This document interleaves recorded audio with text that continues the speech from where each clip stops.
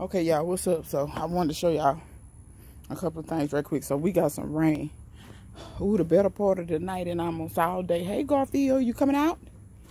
But I wanted to show y'all this right quick. I hope I can get him before we move. I just so happen to see this and I figured I'd get my camera. I hope he don't. Okay. Y'all see that assassin bug? Y'all see what he got in his mouth? Some other kind of bug. Ooh. This is on my okra, y'all. So if you in doubt about what assassin bugs do, assassin bug, I'm gonna come in here and pollinate this okra right quick. Just don't even worry about me.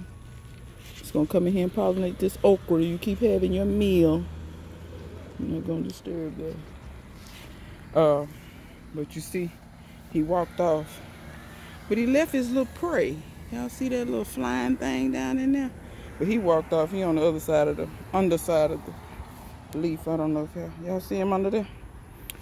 But uh yeah, so these flowers over here, I'm pollinating them because it's gonna rain all day today and I don't think it's gonna be very many uh, like the bees and stuff that usually come down in these. I don't think they're gonna be out here today. I haven't seen Nan bee today. Nary. But since we got all that good rain, it opened up. All these okra flowers decided to open today. So, um, and I want to make sure that I get my okra, which you don't have to do this. I believe okra, the way that the flower is made, I believe it'll pollinate anyway, but, but I'm finna make sure. Okay, so that's the okra. I got set lots of blooms. I've been eating okra off of here. I don't think I mentioned it. And I'm sorry, I was supposed to have a video out to y'all, but child. You gonna help me pick? You ain't gonna help me pick nothing. You in there on your own accord. Look at all those up there that are ready. There's a wasp up there too. Um, I've been picking beans uh, regularly. Uh, I'm gonna just kind of show you what's going on right quick, and then I'm gonna hop into something. Um, but I wanted to show y'all these. I think these are either bikino, bikino peppers or bird pepper.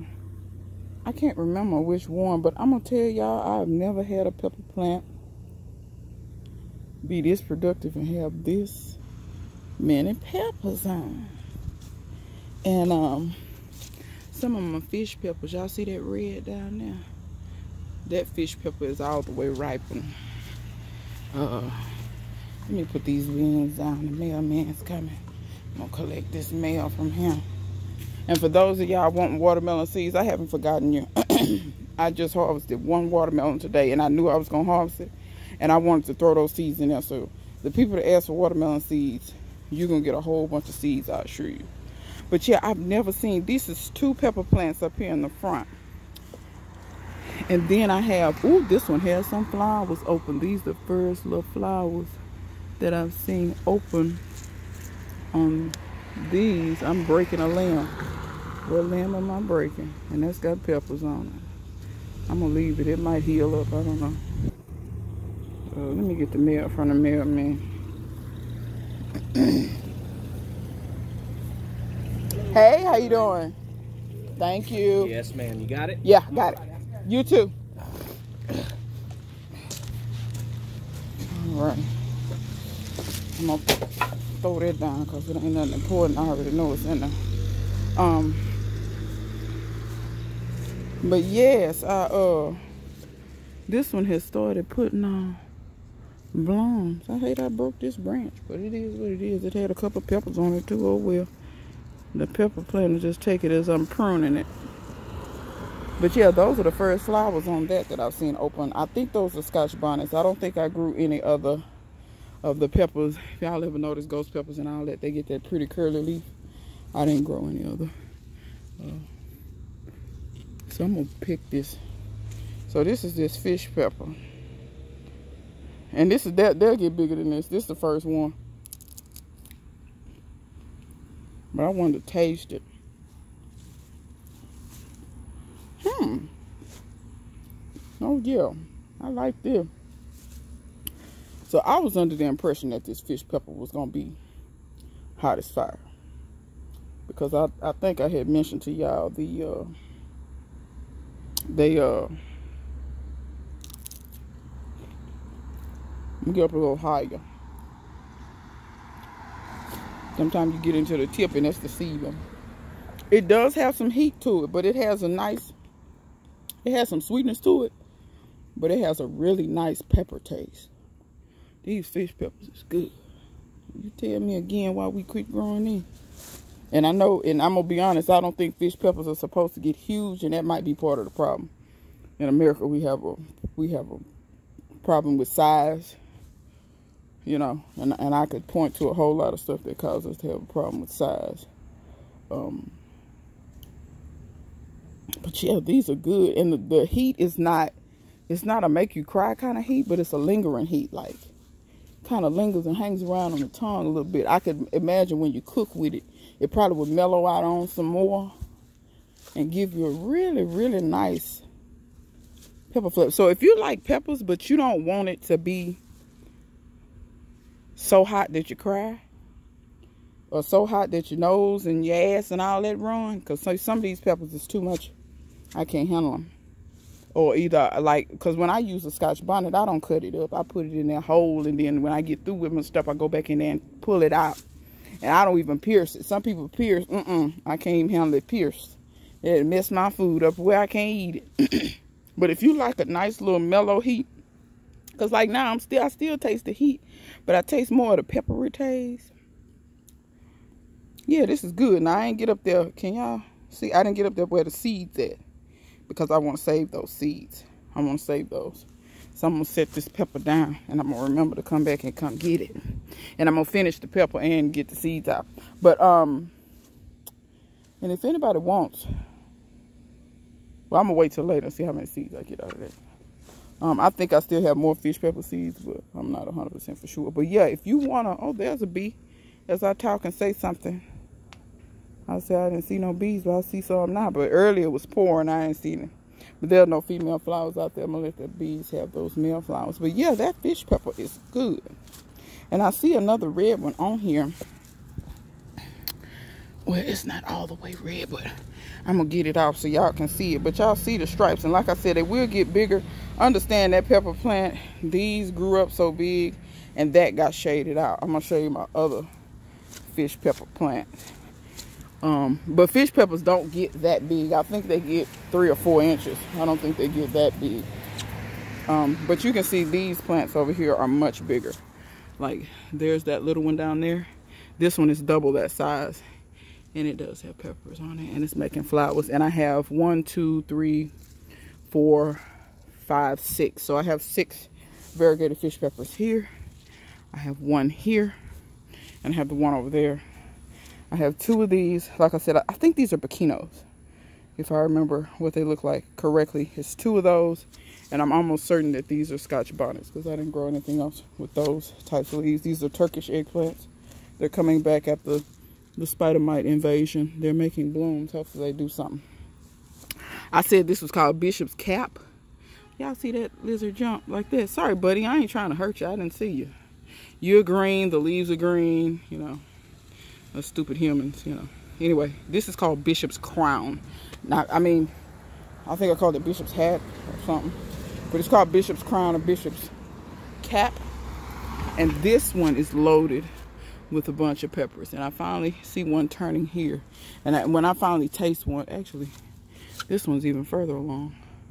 But if you're wondering why they call it that, if y'all know what a bishop's crown looks like, that's what the peppers kind of look like. This one's probably a better representation. There you go. So that pepper is, has a lot of them on there too. Um, very uh, productive. Uh, these are also Scotch bonnets because, like I said, I didn't grow anything else that that has that pretty curl leaf. Like I said, usually it's super hot. Oh, he came back. So he saw me there fooling with it. And now he's back up here finishing it off. You see he's back perched on top of it? I guess they suck all the guts out of the inside. I have no clue how they work, but I like them. Love you, assassin bugs. So, um, I want to show y'all this. Look at all those up under there, all those ground cherries. And steadily making flowers. I mean, on every limb, you just see ground cherries. So I can't wait for those to get ready. A couple of days ago, the flowers on my Jamaican sorrel started opening. The calyxes started opening. And if y'all look, it just looks like Jamaican sorrel forest. So y'all just, you know, y'all look at that. It's a beautiful sight, I'm telling you. And then, this is my cushaw, which I'm not going to be able to let it grow up here like this. But you have to be careful with squash. They will climb your stuff. Um, I'm to try to break these tendrils as gently as I can. And try to lay this. It's attached on so many places. Try these things. They hold on. They hold on for dear life. They hold on like a Kardashian hold on to a black man. Ooh, child. Turning loose. Just a little bit. Jesus. Boy, I get so sick of him. He gets on my nerves. Y'all ever seen somebody, you try to, you try to uh, tell them nicely. No, I'm not interested. What have you, what have you, and they keep wearing the hell out of you. He gonna make me put something on him. That's what's gonna happen. He gonna make me put something on him. So I'm gonna lay that down like that. Just like I had to do that one the same way. There's Felix. Hey, Felix. Oop. Garfield. Felix don't want to play right now, okay? It's wet out here. He said when it's wet, it's just like when you're driving, you have to you can't drive the same way when it's wet as when it's dry. You have to be cautious. Okay? Okay, Garfield. Okay, Garfield. What, baby? What? Tell the people. Tell them. You got to look up and tell them. Okay. Well, yeah, there you go. They want to see your little face. They see Garfield's face all the time. Oh, is that what you're saying? Replacement? Oh, yes. Yes. Oh, you understand. Yes. You see that vigor? Do you see that vigor? That's, that's, uh-huh. That's exactly. So, yeah, y'all, everything, I wanted to show y'all that, and I, I wanted to touch on something. I said I would talk about hydrophobic versus hydrophilic soils. So I just wanted to kind of get started on talking about that. I see an okra that's ready. So this okra that I'm growing, I'm almost positive that this is a motherland okra. I'm almost positive. I got to check my seeds. I could be wrong. But it's short like that there. If it gets too much, I know y'all going to say, golly, that's short. Yeah. Um, they all this splits, uh, uh, Clemson spineless and all this stuff. White people bred that. Why y'all think that's called Clemson spineless? Clemson University bred that, or whatever they whatever they school is. They're the Tigers. It's in one of them Carolinas. I think it's in North Carolina. Uh, they bred okra to be spineless. So let me tell you, when you grow these these okra varieties that are African, they don't have huge spines on them, but they got spines on them. So be careful when you pick them. But um, I'm going to press you all that okra. Boy, I know it's good. Woo! Anyhow, I'm gonna press you if you ain't never had raw okra before. Give that a go. I know what you're gonna say. Oh, you didn't wash that. It got rained on. It's good enough. It'll be all right. Um, if you that you know that hard, you know, wash your okra. I'm not telling you to do what I do. See, a lot of y'all get out here and think I say I'm promoting to live the way I live. I don't promote nothing. I don't promote nothing except for you to grow your food and leave me the hell alone. That's all I promote. Uh, and I, when I say leave me alone, I mean leave me alone as far as negative stuff. See, let me tell you something. And don't grow. Don't grow. Ooh, the clouds getting dark. Y'all see the sky? I'm gonna get ready to go in the house. Uh, when y'all grow these if I sent you lady cream peas, any of these peas I'll be growing. Get ready to be harvesting every day. Every day be harvesting. Because, I mean, I can't come out here and get a moment's rest. Just as soon as you think you got it all harvested, some more come up. I'm to have to spray these when it rain hard like this.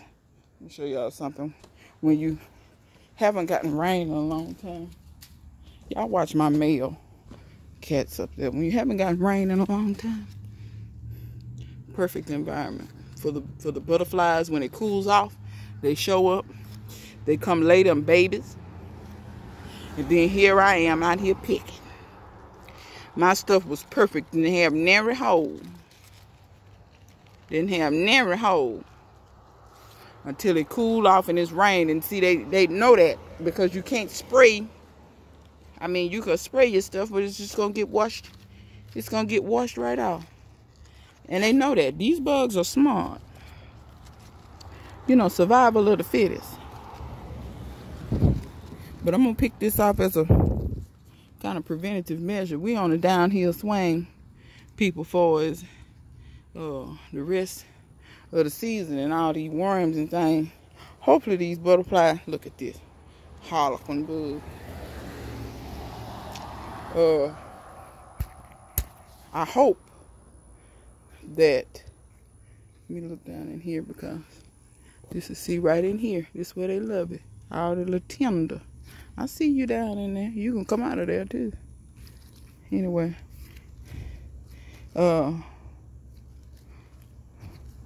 then we're on a downhill swing and hopefully the butterflies and things have left me alone. But if you haven't watched my old video, I think I entitled it something like all my life I had to fight or something. And here come the rain, it's touching me now, I feel it. But I'm trying, I don't wanna and your stuff be like this, you don't even want to leave it. You want to get these worms off of here. Because I'm telling you, when I go in the house, it's going to be smorgasbord.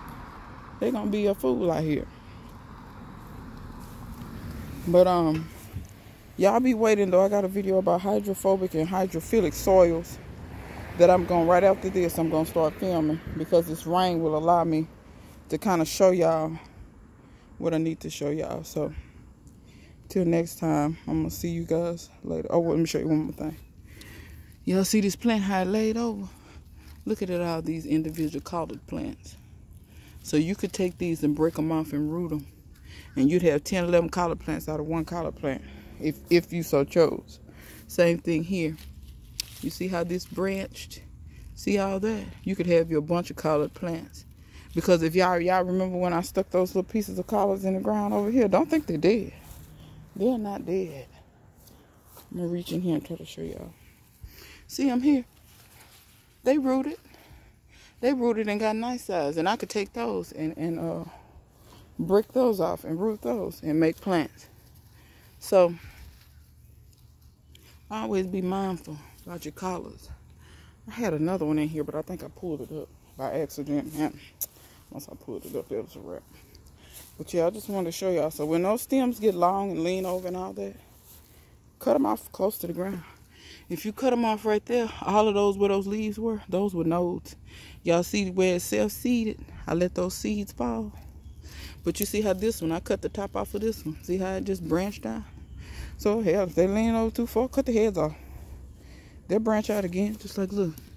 Y'all see here one coming out? So technically I could cut that off right there. That'll send a whole brand new stalk out, but um, I kind of been leaving my stuff alone for the most part.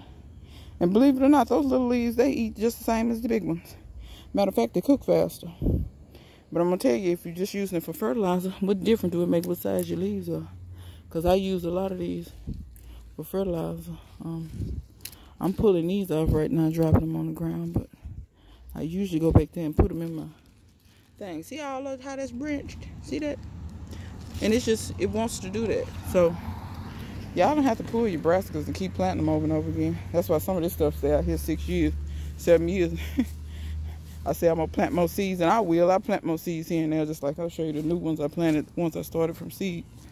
All these are the ones I started from seed. All those ones I planted close together and didn't thin. You see how? Now they will get bigger than this, but you can see the ones with the real good genetics, they are already good size. But I don't know how many that is, however many it is. Oh. German time don't like the heat, but yeah, I just wanted to leave y'all with that. So yeah, when it goes to seed, cut its head off. Harlequin bug, harlequin bug. That's another thing. When that rain come, all the eggs and stuff that was laying dormant that couldn't hatch. See when this disease like this? I'm gonna put all this in the fertilizer. Harlequin bugs got to that. Anyway, uh, it, it all them eggs get moistened and they, they hatch out. Well, that drives me insane. But anyway, I'm gonna go in because it's gonna start back pouring. Uh, I feel it. I feel it rain as it is, but I will leave you one last harlequin flick. All right, y'all. Till next time. See you guys later.